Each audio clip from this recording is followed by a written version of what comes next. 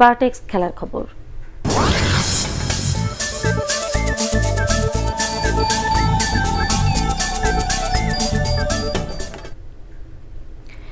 মিরপুরে BCB presidents কাপে নাজমুল একাদশের কাছে একশো একত্রিশ রানের বড় ব্যবধানে হেরেছে মাহমুদুল একাদশ।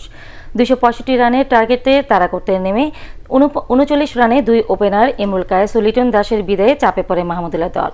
এরপর নিয়মিত বিরতিতে উইকেট হারালে একশো তিরিশ রানে থামে তারা। এর আগে টস হেরে ব্যাট করতে নেমে একত্রিশ রানে তিন উইকেট হারায় নাজমুল একাদশ। চতুর্থ উইকেটে একশো সাতচল্লিশ রানের জুটিতে চাপটা সামাল দেন মুশফিকুর রহিমেন ও আফিফ হোসেন। ব্যক্তিগত আটানব্বই রানে দুর্ভাগ্যজনক রান আউটে বিদায় নেন আফিফ।